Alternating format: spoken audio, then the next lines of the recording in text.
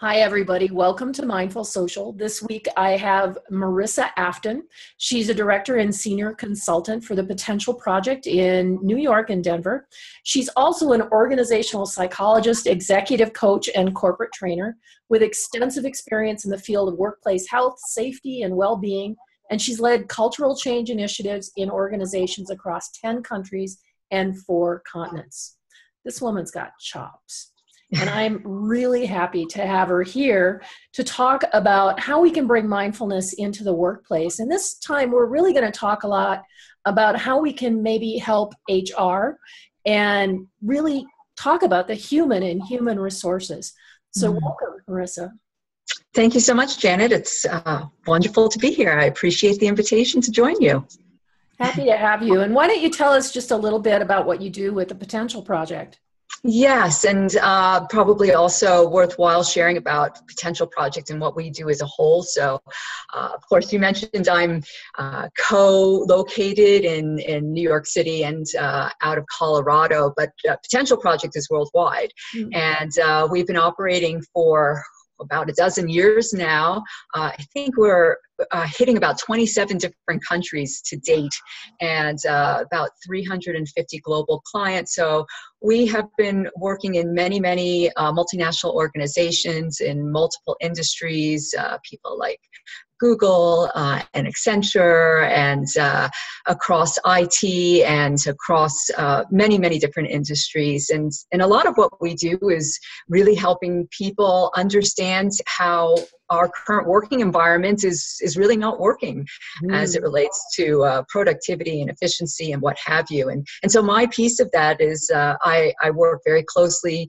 uh, with our within our US operations uh, both from a support perspective so not strictly HR per se but of course I, I do a lot of um, HR related activities uh, for recruitment and supporting our people and, and uh, development and things that HR uh, specialists can really relate to. Um, but also, I'm very much client facing because I have a personal passion for what we really do um, in organizations and being able to help people in HR and executives and frontline workers and the entire spectrum to really help with their focus and efficiency and resiliency and all of the rest, all of the great benefits that we know uh, mindfulness can take. Wow, that's that's very important work because I really feel that you know HR gets short shrift sometimes, even though their name is human resources. Yeah. A lot of people think that it's just resume pushers, and certainly that's not all that it is. Um, especially now, we're seeing more and more companies are developing more advanced HR programs that are yes. around bringing mindfulness into the company to maintain their human resources. Can you can you talk about some examples of that? Yeah, so you know, it's interesting. Uh, I, I, think in some of our previous conversations, we were looking at it from two different perspectives. One, that kind of, as you mentioned, that misperception of what HR is and how the individual HR um, person, whether they're an HR executive or an HR field leader, um, you know, they've got a lot of pressure on them. The expectations are really, really high. Um, what they're being asked to do in, in what we call a paid reality. And paid reality is just a coin term that Potential Project uh, has been using to describe organizational life. So, mm. paid in the acronym stands for P for pressure, you know, this feeling of constant pressure in, in corporate life. Uh, a is for being always on. It's like this 24 7. You never can get mental space in your work life. Uh, I is for information overload.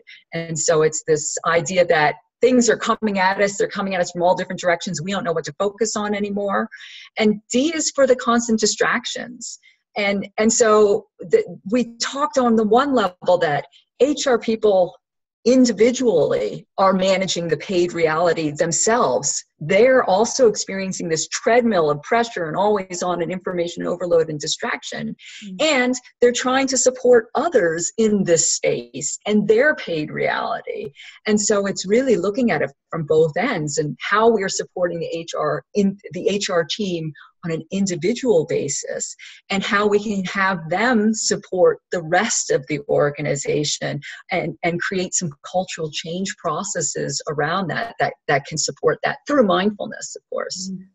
That's so important because how can we expect HR professionals to be able to support the rest of the organization if they're completely overwhelmed, understaffed, yeah. and overloaded?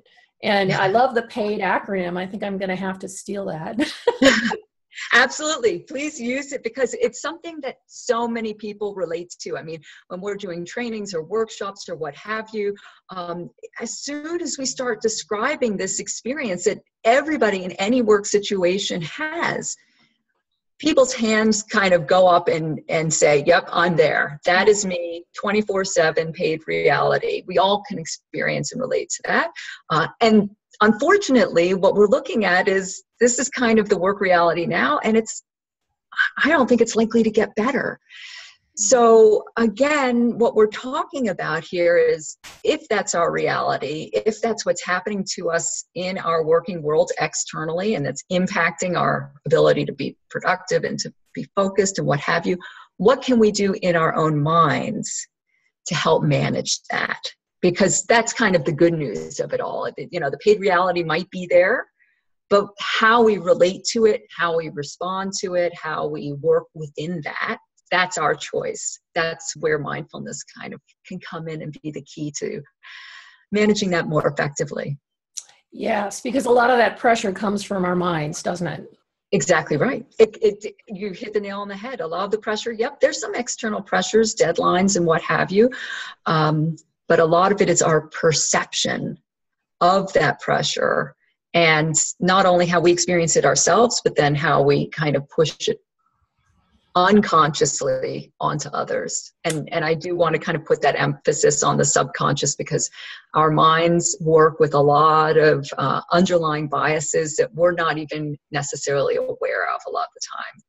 And again being able to recognize that is another one of those mind training techniques that we really encourage in in our trainings as a tool yeah, and that's really essential that we start to recognize what our mind is doing to us and being under being more uh, responsive to that in a way that is more productive for us. So, can you talk a little bit about maybe some things that people can do when they find themselves like totally under pressure? So, of course, they're passing it downstream to somebody else and, and making them nuts.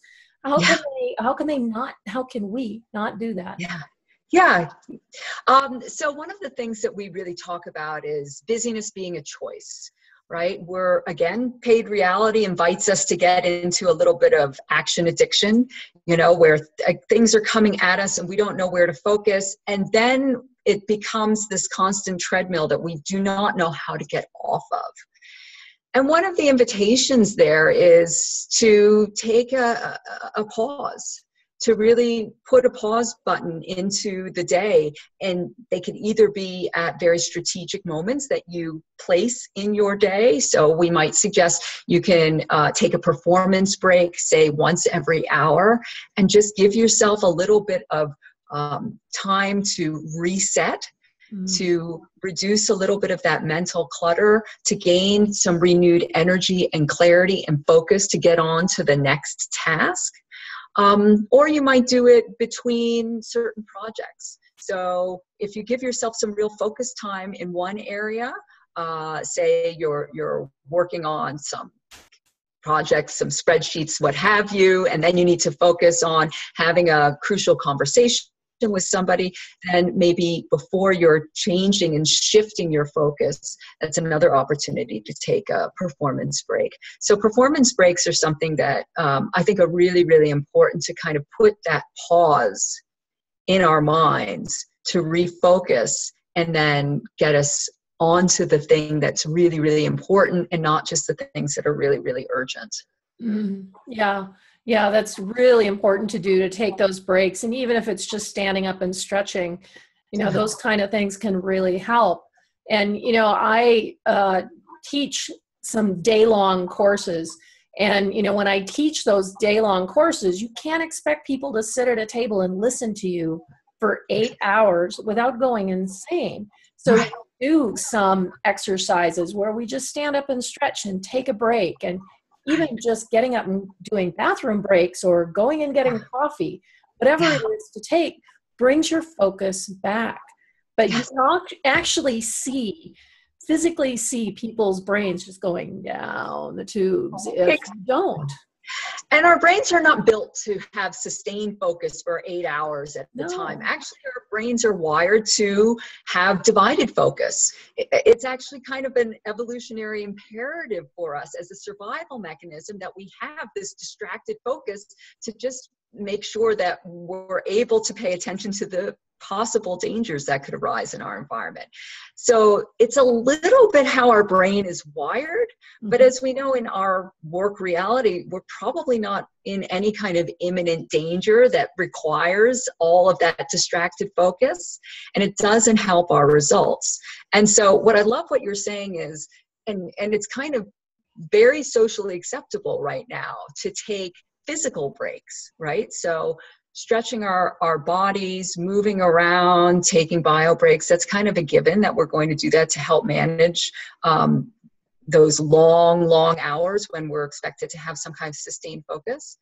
But what we haven't really put into a cultural norm is what does it mean to take a brain break that's not just physical because our minds can still wander when we're when we're wandering with our bodies our minds still wander. Mm-hmm.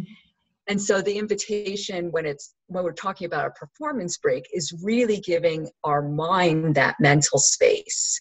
And so one of the things that we do is we give a very prescribed way of doing a mental performance break. You know it can be three minutes, it can be five minutes, it can be as little as three breaths, though. Mm-hmm.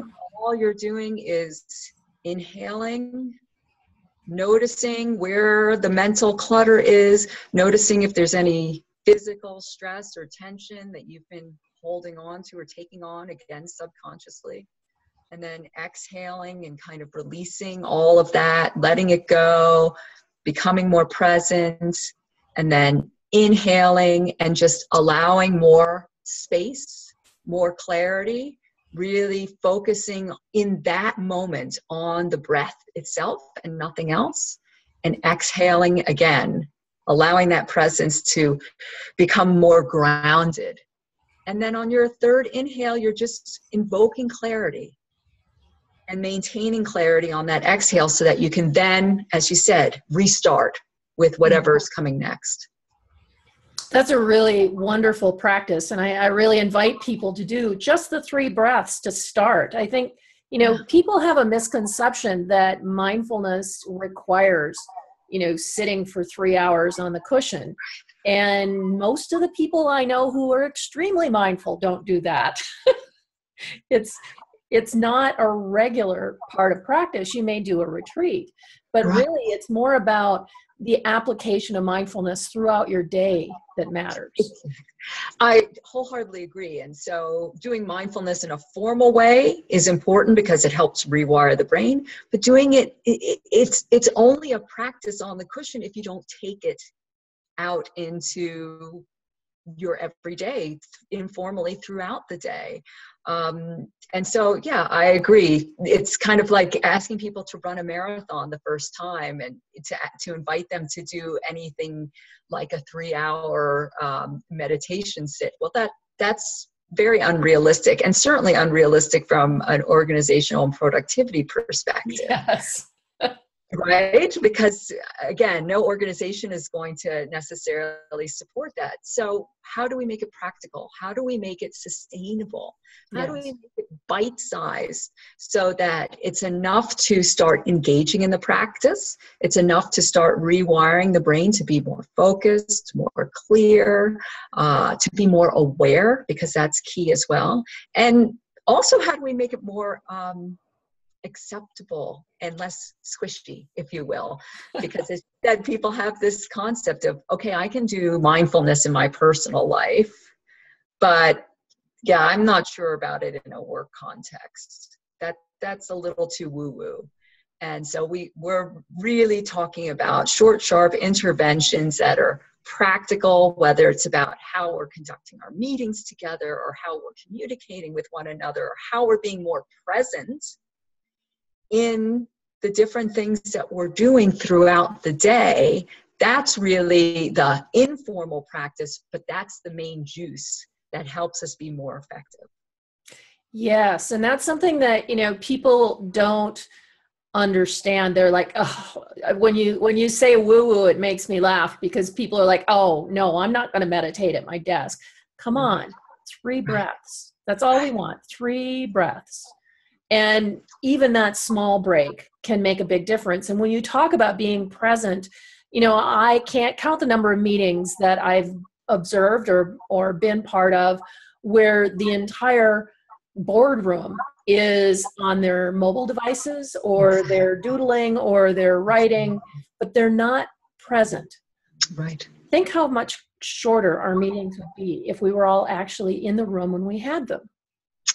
Absolutely. And, you know, one of the things that we offer in terms of talking about a mindful meeting is a real strategy around if you're present, if you're truly present, if you have a really focused agenda, if everybody who's there really is meant to be there, because we know we in organizations develop these standing meetings and well, let's invite everybody. And then that's not necessarily a good use of everybody's time. Mm-hmm. And if we put these different tips and strategies in place, well, what would it be like if we had a really focused, present, impactful agenda and outcome driven meeting, we could probably finish earlier than the meeting is actually scheduled to take place. And that is one of the tips as well as end five minutes early, because we know also that organizations, it's just part of our reality. We tend to be back to back with meetings. And so you know i go in and i people show me their calendars and the calendar is just full from 8 a.m to 5 p.m and it's just meeting meeting meeting meeting meeting. Well and then you're trying to fit in the emails you're trying to fit in you know your own lunch in the middle of a meeting and nobody has any mental space throughout the day. So even just five minutes between meetings to have that time to let go of where you were become present with where you are and not worrying about what comes next can be a, another great thing. And and one thing I also wanted to mention, and you were talking about, you know, the woo-woo aspect that can come. Um, we don't really use the term uh, meditation or mindfulness as such because what we're really talking about is how we're training our brains to be more attentive and it's a little bit like going to the mental gym right? So it's, it's you're just doing little brain exercises. You're really training that attentional muscle to have that sustained ability to focus and stay on task. And who doesn't want a little bit more of that? Right right. And it takes practice. It's not something you can mm-hmm. just suddenly start doing. And that's why they call it practice. You need little bits little bits little bits until you build up enough that it can be natural and normal for you Exactly. Exactly right. So let's talk a little bit about how we can spread that awareness through an organization that, say, may have thought that mindfulness is woo woo. How do we bring people to notice that it doesn't have to be the way that they imagine it to be? Yeah, well, one of the things that uh, we feel is really, really critical and important at potential projects is, is making it uh, very, very uh, tailored to the work environment. So, whether that's tailored to a particular work group uh, within an organization, obviously tailored to that industry, tailored to what the pain points are. What what is it that's really showing up in terms of uh, the lack of uh, focus or efficiency, or, or where where are they struggling right now? And and really having that conversation at the outset to set what the outcomes are.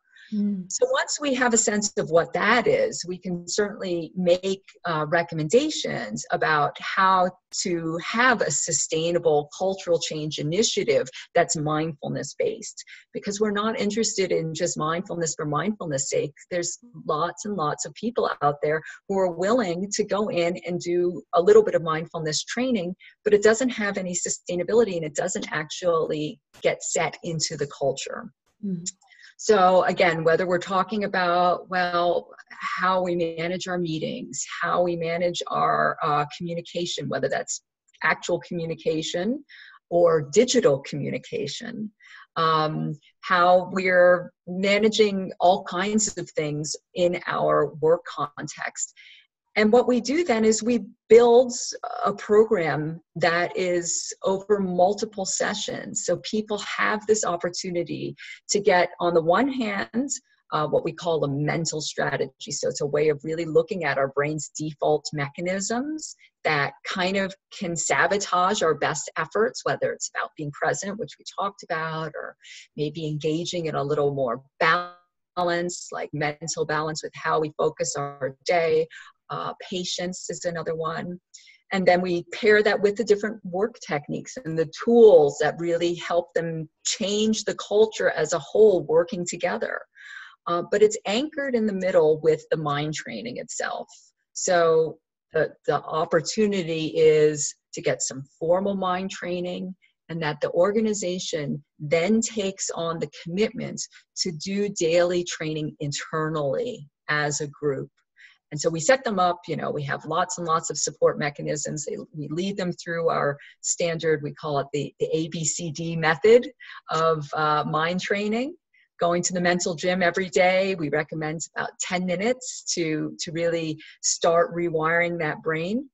Um, and then, you know, with support things like apps and uh, internal champions, so it really becomes theirs. Mm. It's not ours anymore. We just give them the foundation, we give them the tools, and then they run with it. So that's kind of a, a, a brief of the arc where we go from really understanding where they are, what their needs are, where their pain points are, uh, and then coming in with a very structured program and sustainability tools, uh, and then giving it over for their ongoing uh, ability to sustain it throughout throughout the entire organization.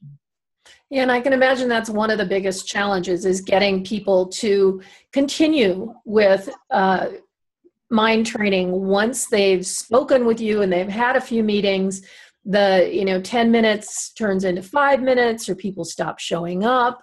And you know having those internal champions is absolutely crucial because they can set an example. Uh, i have seen in organizations where those internal champions whether they're intentionally champions or not people kind of gravitate towards them because they're calmer. They're not quite so freaked out. And that really helps them to yes. be champions. By example you are so correct. And, um, you know, we, we have a little bit of, um, we have a challenge sometimes with some of our, our groups that we work with because a lot of people it's kind of a running joke internally a potential project that a lot of our groups start to what we what we notice is that people want to schedule meetings right after the daily training because what we invite is that people do daily training in groups. This is mm-hmm. part of the sustainability. We want to socialize it. We know that we're social beings. We when when it becomes a norm and everybody kind of has a buy-in for it then they're more willing to do it together and to do it on an ongoing basis. So the internal champions are really there to help as, as it says be the champion for this daily practice. And so it's kind of built into the schedule, it's built into the day. And then, just as you said, people start noticing that those who do the daily tr- practice, they're calmer, they're more focused, they're more patient, they're more able to be clear in their minds. And so, you know, everybody is kind of competing to see who can schedule the meetings right after the daily practices because that's kind of like the best time of the day for most. Yeah, I, I think that's really interesting that people want to schedule meetings right after the practice. Um, in one respect to me it's like yeah okay we're done with that let's get to let's get back to work which you know may or may not be the best approach simply because you're you're in a really good place and if you are that's great but the people who aren't are like okay can we get this done with? Because i've got a meeting. And how do we tap into those people to kind of bring them around the understanding of what they're doing to themselves. Yeah and I, I think you know it's it's with everything when whenever we're introducing something new there are going to be some people who have you know we have a lot of people who come up and they kind of uh, share that in inwardly or in their secret life they're already doing the mindfulness training on their and, and they're so excited that it's coming into work because they always knew that this would be a great uh, thing for for their work environment uh, so you have early adopters people who are just naturally motivated, naturally drawn. They either have their own personal experience or they have a willingness. They've heard about it. They have a curiosity. Mm. And then, you know, it's with any kinds of change, it takes time. And so, as you mentioned, you're the one who, who suggested it's a practice, right? So, with with organizational change, it's a practice as well. And we we know that you know the, the research says not only the research out there but our research on our programs we can see the impact hmm. right people who are doing this training even in as little as five weeks they are reporting higher focus uh, less multitasking lower stress higher productivity those results carry weight and even the biggest skeptics, when they see the neuroscience behind it, when they see the research behind it, when they see the impact, not only anecdotally what they're observing, but the research results from this training, that's when they start buying in and they go, mm, maybe there is something to this. Maybe this is worth uh, looking at and, and just trying out. Again, trying out 10 minutes a day, most people are willing to give that a try. Right, right. And you may have data on this as well that you know this makes HR's job easier because a happy, healthy workforce is more likely not only to do a good job but to stick around because they are happy with their work environment. Exactly. And, you know, uh, one of the things that Potential Project is looking at right now is not only how it works in an individual and team environment, but as you mentioned, in an organizational environment from a leadership perspective. So uh, we're working on a book right now. It's going to be coming out in early 2018 that's really talking about the minds of the 21st century leader mm. and how the minds can be you know the key to unlocking organizational excellence from the perspective of happy engaged employees those are the ones who are going to stick around those are the ones who are going to be internally motivated to do the best that they can do. They're going to be the ones who are actually doing more with less. They're not burning themselves out because they're trying to manage the paid reality externally. They've actually won the game in terms of understanding how to manage the paid reality internally in their own minds first. And so that's again, that's the best outcome there is if we are helping people to understand how to manage their own minds so they can manage their own paid reality that really has a major impact across across a, a culture oh absolutely i i think it's absolutely wonderful to hear that organizations are adopting that more and more. And we're also hearing that employees are not satisfied with the same old jobs that you know we had in the 60s and 70s and people expected to do whatever it was they were doing without really enjoying it just for the money and the pension at the end. We're not seeing that people are happy with that anymore. They want to be fulfilled in their job. They want to feel valued and they want to feel happy and maybe not quite in so much stress right and so we're not promising mindfulness is the magic pill to happiness we do know the happiness. Yeah, I, I, would love to say that, but we do know that um, one of the major outcomes, and, and again, this is kind of going into a little bit of that squishy zone that we want to we, we, we don't want to necessarily um, suggest that we're doing uh, training on self compassion, but when we're more mindful, we tend to be more kind to ourselves. Mm-hmm. And when we're kind to ourselves, we tend to be kind to others. And isn't that a great strategy to have for an organization is we, we, may not say that that's a strategic imperative that we put in our goals for 2017 kindness to self and others but the impact of kindness to self and others in an organizational context is really immeasurable in some ways because people work better together. People are and neurologically when you're feeling good about yourself you learn better you communicate better um, and you're more focused. You're not worried about the stress all the time which just really eats up our mental bandwidth. Um, so again we don't necessarily go in saying um, we're going to teach all of your people to be kind. But we do go in and and we say understanding ourselves can have a real benefit that goes beyond just these targeted results. Yes yes and i i am a big fan of compassion for self and others and also you know loving kindness practice. And even if you know you're sitting in your cube and people are walking by and when every person who walks by in a 5 minute period you just wish them to be happy, to be healthy, to be safe. It's very easy to do loving kindness practice in an office with nobody knowing, and yes. it makes you feel good. And even if they don't know why, it makes the other person feel good too, exactly. because that energy does transfer. Absolutely, absolutely. And at the end of the day, we all want the same things. We all, you know, we don't, we all want to be happy. Nobody wants pain, nobody wants suffering. And so, how can we help each other towards that unified goal, which actually is a, a great business objective as well, even if it's not not the overall objective, but we recognize that that can help with uh, a lot of the collaboration and a lot of uh, the the strategic imperatives of what we're looking at. Absolutely true. Absolutely.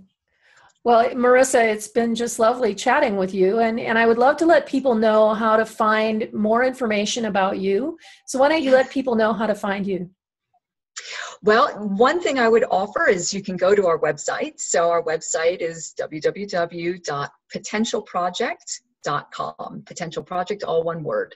And uh, there you can read more about us. Um, take a look at some of our case studies with some of the work that we've done with uh, other major organizations. Uh, you can find my direct email and, and link under About Us for uh, the USA, uh, and also learn about our book, uh, One Second Ahead. Uh, so that's the first book. It came out in, just over a year ago now with some of the techniques that I described in, in our call today.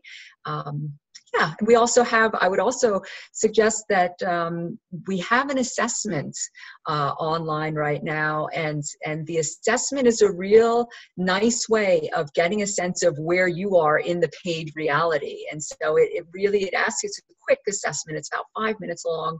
Um, it's been sponsored uh, by Harvard Business Review, so it's um, something that's, again, a lot of research around how do we assess our mind state and the impact that that has on our day to day. So that's a nice way of kind of getting started too. Well, that's wonderful. And I'll make sure that I link to that in the blog post. And just to Great. let people know, this will be on the website mindfulsocialmarketing.com. It'll also be on my YouTube channel. And then I'm syndicating the podcast across multiple platforms. So, probably anything that you listen to podcasts on, you can listen to this on. Wonderful. Thank you so much, Janet. I really enjoyed our time today.